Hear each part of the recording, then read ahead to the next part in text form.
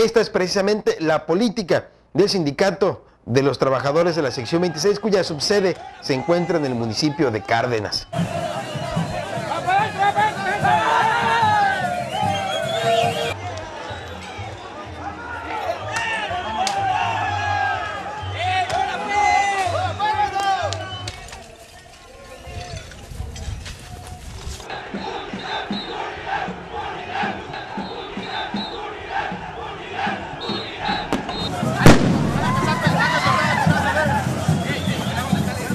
Desde muy temprano, camiones con simpatizantes de la planilla roja, la que encabeza el señor Carlos Jiménez, secretario general y a la vez candidato a sucederse, se apoderaron del edificio en donde a las 5.30 de la tarde se llevaría a la asamblea para elegir a mano alzada a su próximo líder, o sea, a él mismo.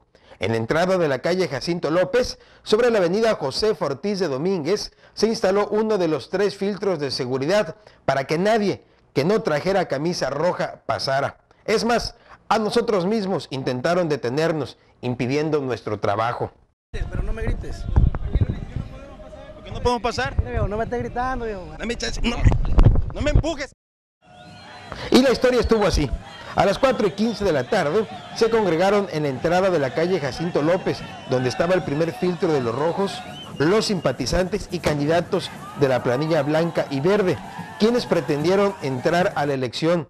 Sin embargo, fueron repelidos a golpes, palos y piedras ante la mirada indiferente, incluso yo diría miedosa, de los elementos policíacos.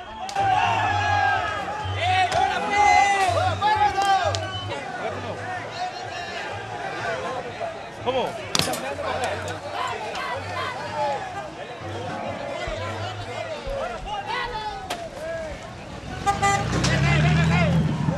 El edificio de la sección 26 estaba protegida por maleantes con palos y piedras en mano, como se ve en las imágenes.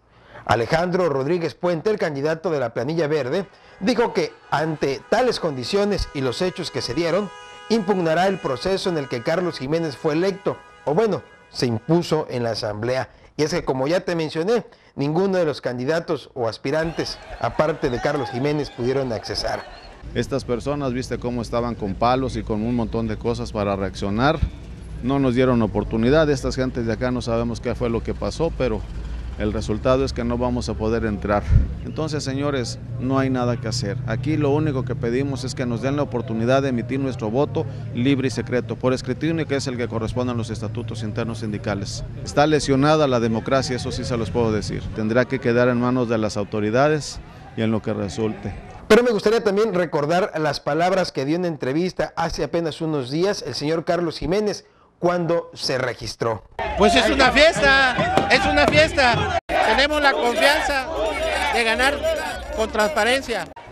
Así las cosas y la política del Sindicato de Trabajadores Petroleros de la República Mexicana, sección 26. Y tal como te lo predije en el noticiero vespertino pasado, Tocayo, hubo violencia y lo peor de todo es que fue en pleno centro de la ciudad, a una cuadra del Parque Central y también del Palacio Municipal. No les importó que hubiera transeúntes, vehículos que, que nada tenían que ver, gente ajena e inocente. Al final de cuentas, así se dieron las cosas. Yo regreso contigo al estudio, muchas gracias. Hasta luego.